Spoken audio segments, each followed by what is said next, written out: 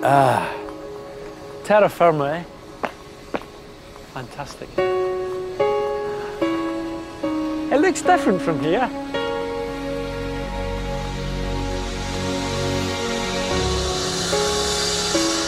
Years.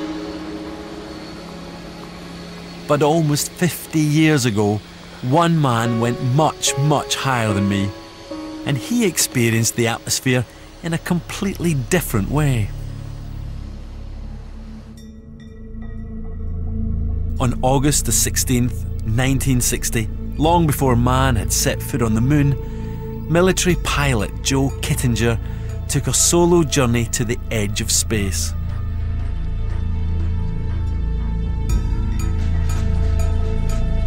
Not in a rocket, but in a giant helium balloon.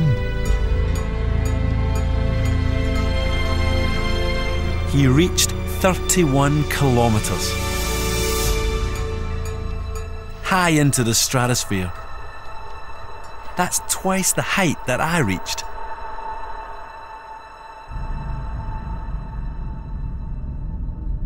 Then Kittinger did something astonishing. He jumped.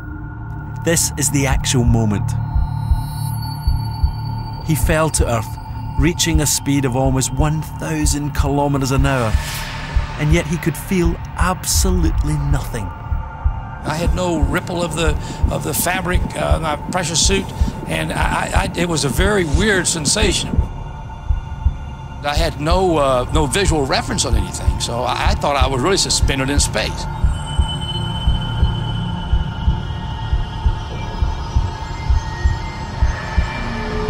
Only when he re entered the troposphere, the lower atmosphere, did he experience the deafening but reassuring roar of air rushing past him. Finally, he opened his parachute. His jump remains the longest free fall in history. Just 15 minutes after he jumped, Kittinger was back on the ground.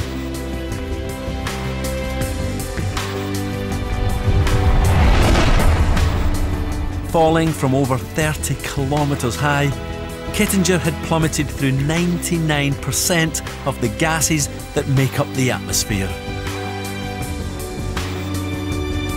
15 minutes before, I'd been at the edge of space, and now, to me, I was in the Garden of Eden. We, we really don't appreciate what a beautiful planet we have. Although Kittinger had jumped from high in the stratosphere, he still didn't reach the furthest edge of our atmosphere.